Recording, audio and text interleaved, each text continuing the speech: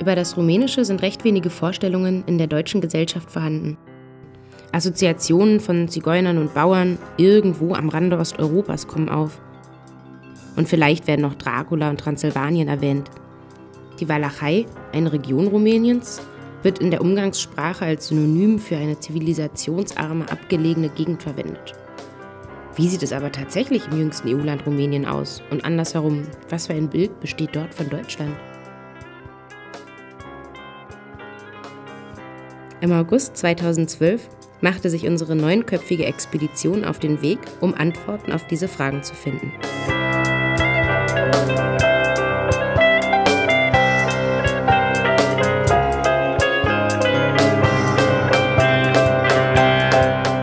Zur Gruppe gehörten die sieben Musiker der Band La Marche, die Fotografin Franziska Böhnke und der Kameramann Bastian Bielich.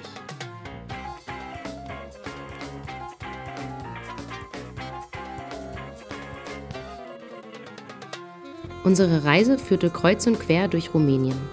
Von Frankfurt Oder bis ans Schwarze Meer gaben wir Konzerte auf der Straße, in Jazzclubs, auf Hinterhöfen und in großen Hallen.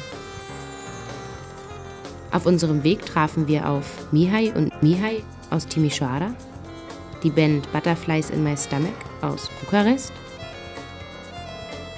die Clubmanagerin Flori aus Konstanza und ihren jonglierenden Barkeeper, Sebastian aus Appold und viele andere.